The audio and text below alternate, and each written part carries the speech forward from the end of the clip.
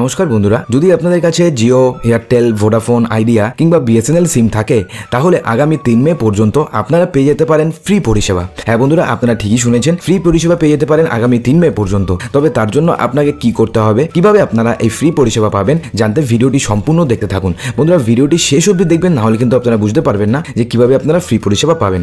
তবে ভিডিওটি শুরুর পূর্বে অবশ্যই ভিডিওটিকে লাইক করবেন, প্রচুর শেয়ার করবেন চ্যানেলটিকে সাবস্ক্রাইব করবেন এবং ভিডিওর কমেন্ট বক্সে অবশ্যই জানাবেন যে আপনারা কোন কোম্পানির সিম থেকে ভিডিওটি দেখছেন। তো প্রথমবার যখন লকডাউনের কথা ঘোষণা করেছিলেন নরেন্দ্র মোদী, সেই সময় কিন্তু ট্রাই অর্থাৎ টেলিকম রেগুলেটরি অথরিটি অফ ইন্ডিয়ার তরফ থেকে সমস্ত টেলিকম যে অপারেটর রয়েছে, তাদের সবাইকে কাছে বলা হয়েছিল, সবাই যেন তাদের সাবস্ক্রাইবারদের কিছু এক্সট্রা বেনিফিট দেয় এই লকডাউন পিরিয়ডের জন্য।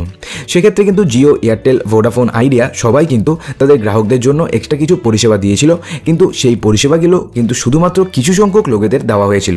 প্রথমে আসছি জিও কি করেছিল? জিও শুধুমাত্র তাদের জিও ফোন গ্রাহকদের জন্যই সুবিধাটি দিয়েছিল। তাও আবার সমস্ত জিও ফোন গ্রাহকরা কিন্তু এই সুবিধা পায়নি।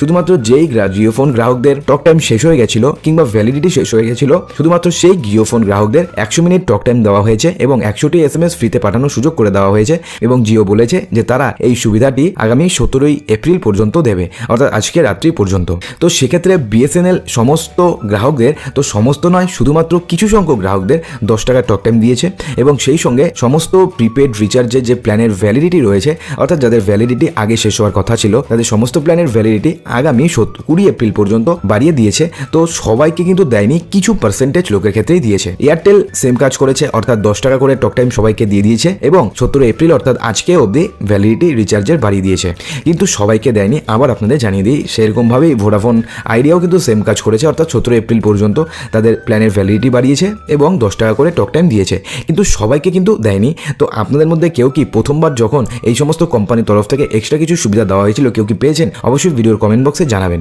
তো এইবার কিন্তু লকডাউনের মেয়াদ আরও বাড়ানো হলো এবং আগামী তিন মে পর্যন্ত লকডাউনের কথা কিন্তু ঘোষণা করেছে প্রধানমন্ত্রী নরেন্দ্র মোদী।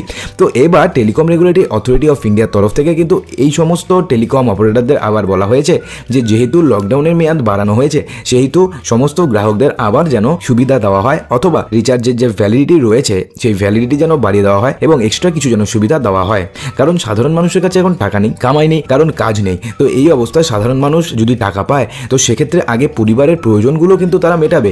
এটা নয় যে তারা প্রথমে গিয়ে মোবাইলের রিচার্জ করবে। তো সেই জন্য যেন আগামী তিন মে পর্যন্ত যেন বাড়িয়ে দেওয়া হয়, এটা কিন্তু ঘোষণা রিকোয়েস্ট করেছে ট্রাই সমস্ত টেলিকম অপারেটরদের তো আমরা আশা করব যে সমস্ত টেলিকম অপারেটররা যেন ট্রাইয়ের এই রিকোয়েস্ট মেনে নেয় এবং আগামী তিন মে পর্যন্ত কিছু এক্সট্রা বেনিফিট দেয়। সেই সঙ্গে যেন রিচার্জের যে ভ্যালিডিটি রয়েছে, সেই ভ্যালিডিটি যেন বাড়িয়ে দেয়। তো এই সময় কিন্তু এমনটা হতে পারে।